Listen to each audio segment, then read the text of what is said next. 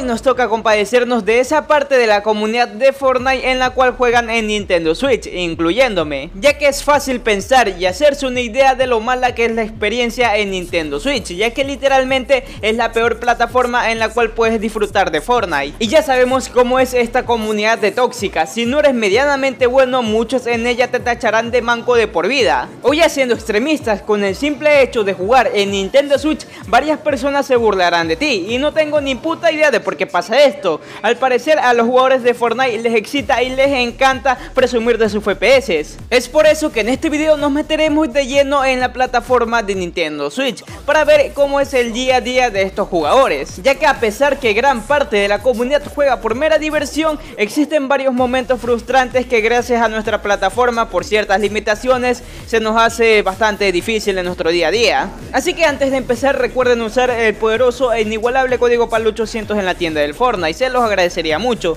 Y ya vamos empezando de una vez con el video.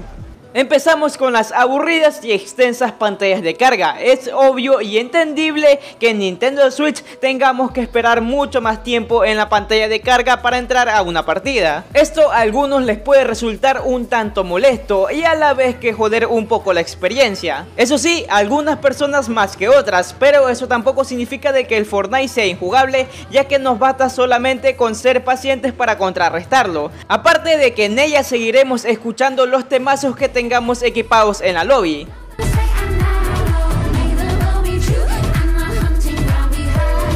El tema de las pantallas de carga se vuelve más evidente a la vez que frustrante cuando estás jugando con tus compas. En el preciso instante cuando todo el mundo le da listo para vender nuestra alma al diablo, o sea, jugar una partida del fornicando, los jugadores de Nintendo Switch seremos testigos del tiempo en que nuestra plataforma tarda en entrar a una partida. Si es que hasta tu pana que juega en un móvil con 4 GB de RAM y con un procesador de la era mesozoica entra más rápido que tú, y muy de vez en cuando hasta entramos ya cuando el autobús de batalla lleva medio recorrido del mapa. Y ni hablar del modo creativo, mientras tú estés en la sonífera pantalla de carga, a tus amigos les dará tiempo de pegarse 50 1v1s, terminar la carrera universitaria y hacer una familia. Y quizás estás pensando de que yo lo estoy exagerando todo y probablemente tengas razón. No más hago contenido para entretener y tal vez sacarte una sonrisa. Lo que sí no es exagerar es hablar del tema de los Joy-Con en Nintendo Switch, o sea, los mandos. El drift se le denomina a ese problema que todos hemos llegado a tener en nuestras vidas. Ese problema que hace que el personaje mire cuando le da la gana o simplemente haga todo lo contrario, incluido el personaje mismo. Y si no me entendieron porque hablo como si que me estuviese atragantando por una verga, aquí les dejo un video para que quede todo claro. Mire, está hecho pija el mando. El celeste sí, lo sé, de puro jugar Mario Party. Pero quiero que miren esta madre. Pena lo muevo y se va al quinto carajo. Que esta, esta, pendejada de, Joy-Con no valen, loco. Simplemente no valen. Ahí está.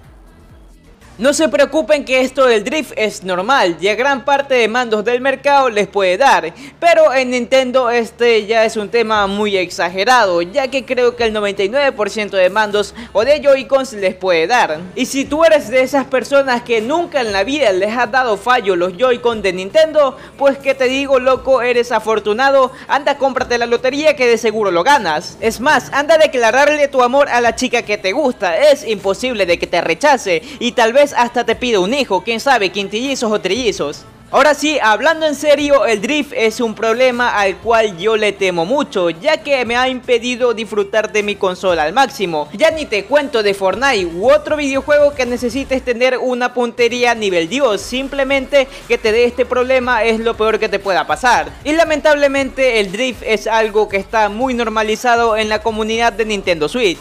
A nosotros nos persiguen las desgracias y no se puede hacer mucho, la verdad.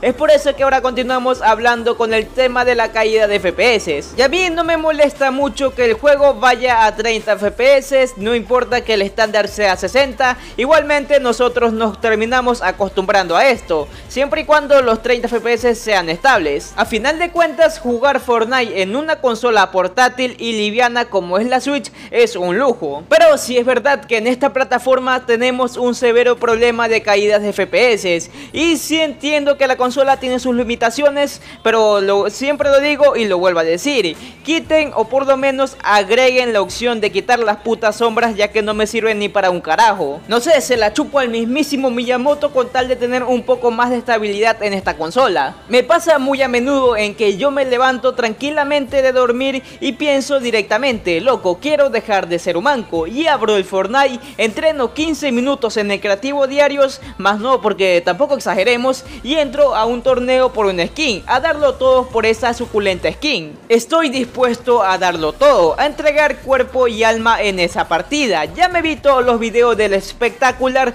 que pueda haber y ya aprendí mucho sobre él, así que también copié la sensibilidad de ahí un profesional gringo que juega en Nintendo Switch y ya estoy listo. Y pues, ¿qué ocurre? Me rusea una aura con varita de estrella y mochila de girasol. Estamos ahí en un PvP intenso, se me bajan los FPS como por 5 milisegundos y ya, estoy muerto. Es como un parpadear de ojos, idealmente ya de una hay a cabo. Después del torneo termino todo bajoneado, pero igualmente después de mirar unos 5 TikToks de monas chinas bailando, se me pasa.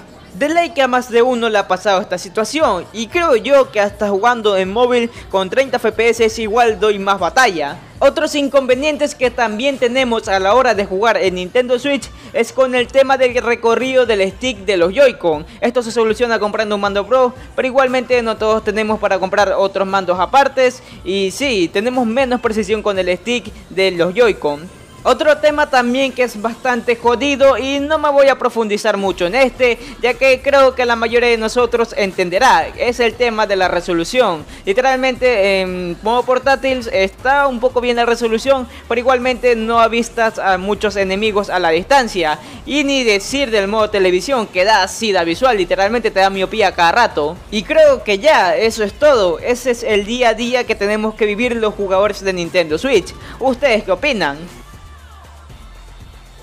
Pero bueno gente, hasta aquí vamos llegando al final del video, ya te la sabes, dale like y suscríbete si te gustó. Y si quieres ver más, y eso es todo, yo me la saco.